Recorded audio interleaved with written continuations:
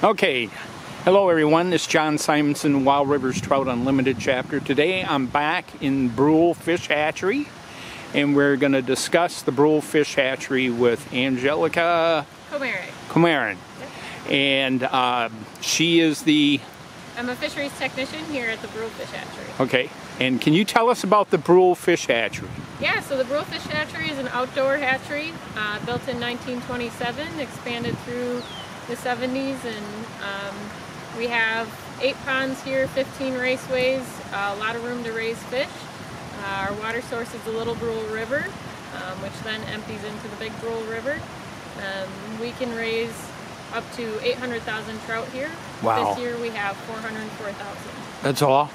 That's it. and they're all brown trout? All brown trout this year. In the past, we've raised coho and steelhead. Um, those have gone to Lake Michigan, but brown trout mostly for um, Lake Superior and Lake Michigan.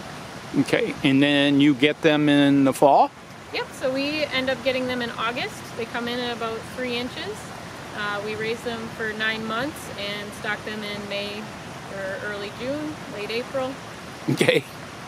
And okay, these brown trout, there's 400,000. Where are they going?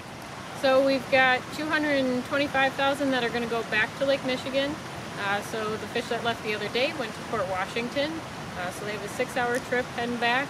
There's some that go to Kenosha, Bailey's Harbor, all over the place on, on tributaries of Lake Michigan.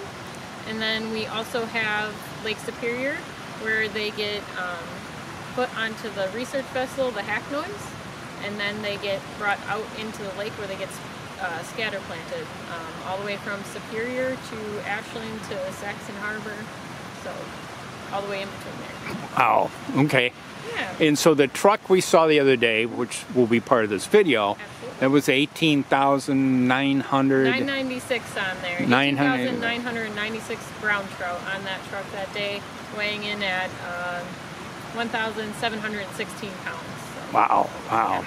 And what was interesting, I watched you the other day calculating. Can you kind of explain how you know there how many brown trout are on that tanker? Yes, so originally we take a bucket of water and we put it on the scale, zero out that bucket, and then we dump some fish into the bucket, and let's say there's five pounds of fish in that bucket. Um, our coworkers go out and they count how many fish are in those five pounds. That gives us how many fish are in one pound ultimately. Got it. So we don't speak in inches, we speak in fish per pound. Okay, okay. So by the time from that bucket, they're counting them when they dump them back into the pond. Mm -hmm.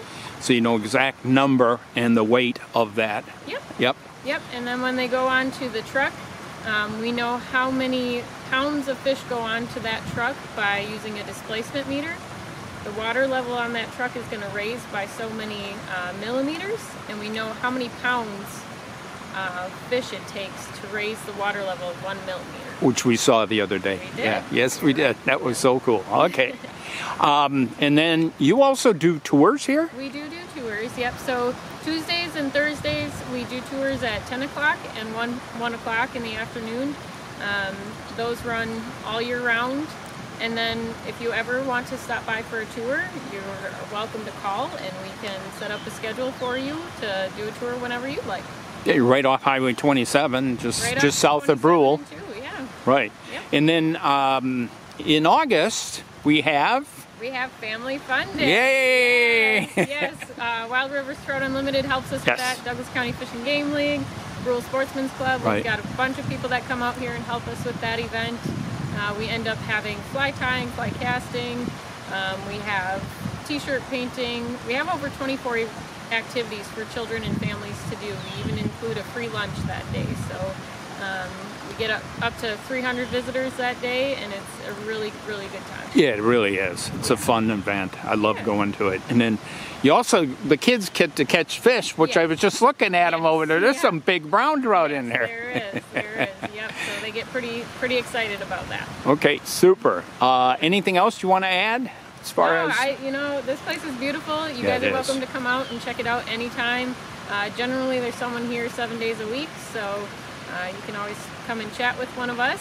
Um, but yeah, if you have any questions, you can always call and stop by, and we got some information about the Brule, or uh, yeah, if you have questions about other fisheries activities, we can typically find the answers. Great. Yeah, and I just want to point out behind you are the ponds. Yeah, yeah. right, so with 40, 400,000 five inch brown trout. Yep, yep. So they're all down in those ponds right now. They'll be going out over the next month here. Right, So okay. Thank you very much. you're welcome. It is early Tuesday morning. I am here to watch the Brule Fish Hatchery staff transfer trout from a pond to the hatchery truck to be delivered to Lake Michigan.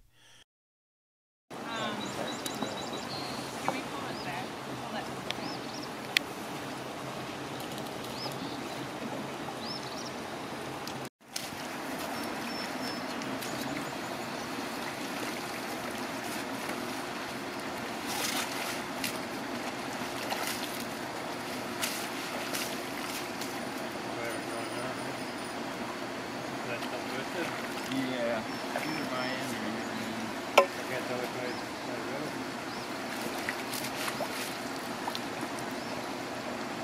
The trucks are a little bit different. Um, it depends on the truck. The trucks are all different sizes. Some of them can fit up to 1800. These are 1400. Like Darren likes to keep it at a thousand. Uh, 1,400 pounds? if you're not driving that far, huh? Yep, 1400 pounds. Some of them will, will hold 1800 pounds. Wow.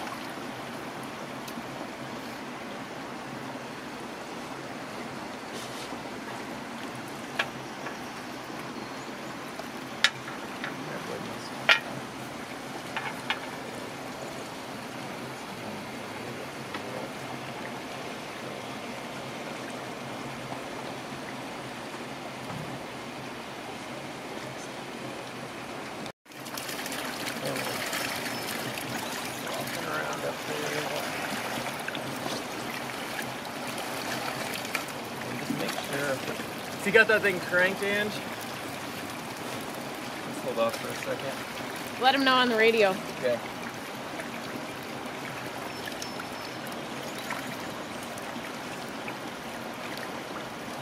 Kyle, you got that pump cranked? They're coming, but it's slow. You gotta turn it up more. Yeah. Pin four. They're going. Alright, we're good.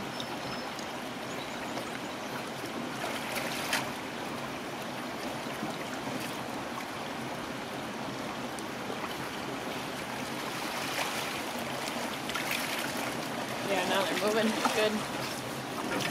Now they're going all the way from here to the truck.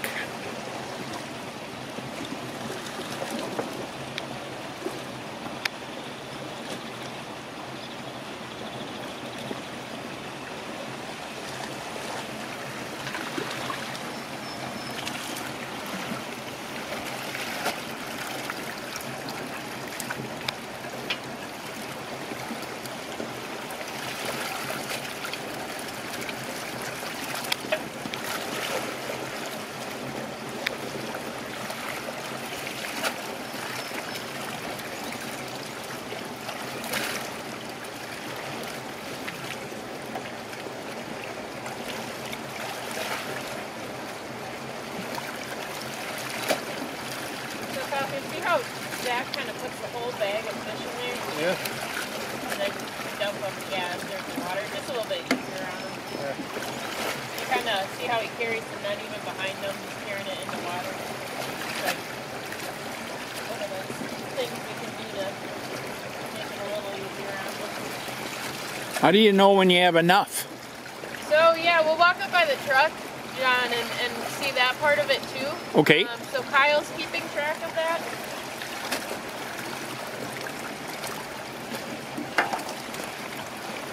We're going good now.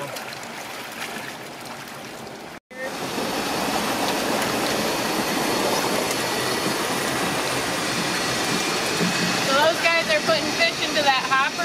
Right. Fish pump sucks them up into here, spins them around, goes down in here, up to the tower there, where the fish are going to come this way out this light pipe, and the water is going to go back down this way. So he's actually not getting any water on his truck right Right. now. So those little flashes I see in the hose, Those are the fish. Yep. all those are fish. Yep. Thousands of fish. Yep. So they're in the water the whole time. You know, they're in Yep. those tubes up until the tower right here, where the water goes one way and they go out onto the truck. Wow. So it's, it's actually much nicer on them than netting them the whole time. You bet. Gotta stand back and try to.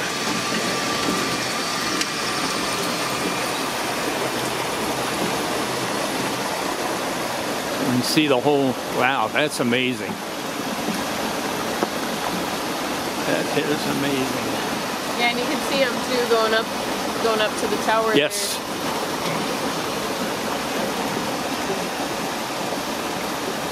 Wow. there. So now Kyle just switched over to his last compartment, which means we have about 500 pounds left to go, or a little over that, I suppose.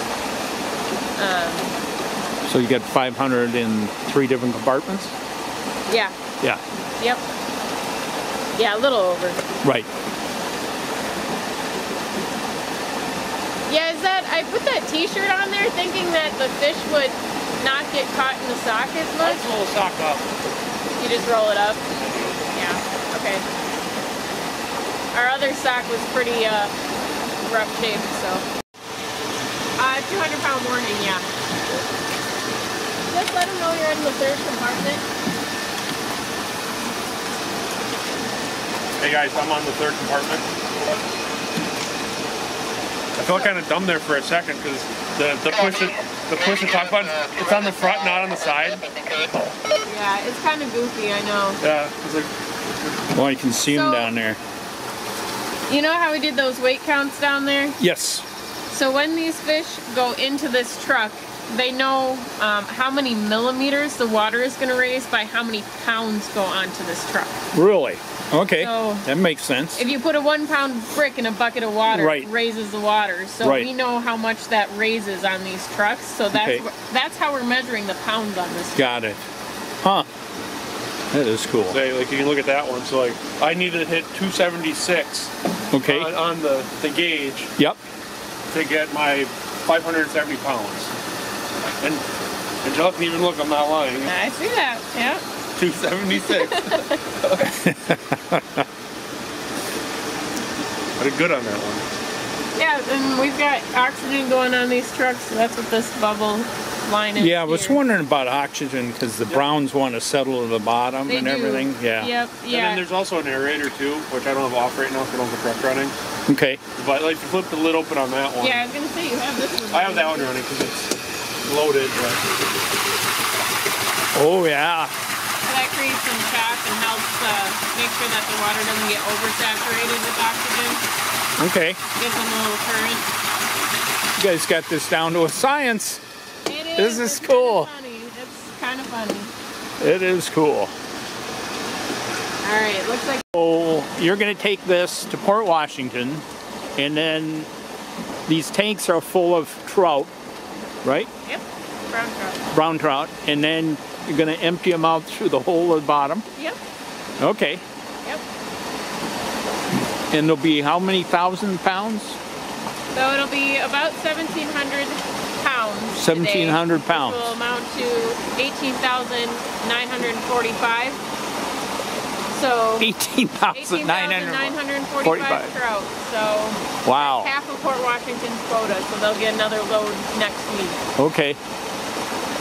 That's amazing.